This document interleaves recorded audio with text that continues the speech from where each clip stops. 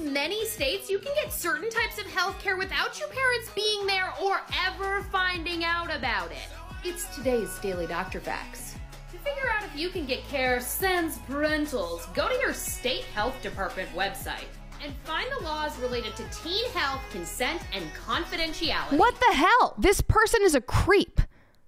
Their entire goal is to get children irreversibly damaging drugs without their parents knowing. Apparently, these days, doctors don't actually care about helping people and doing no harm. They just care about subverting parental rights and pushing a political agenda. Oh, really? You learned that in med school? That you obviously didn't get into? Why is it that the US seems to be years behind the trend of most other countries? Most countries are realizing this is a mistake and are starting to ban the use of puberty blockers for minors. Literally, yes like the Scandinavian countries, they are not letting young people undergo these treatments for valid reasons.